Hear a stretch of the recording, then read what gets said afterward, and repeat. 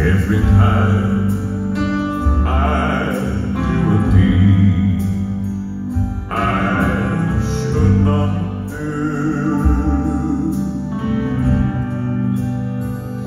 And every time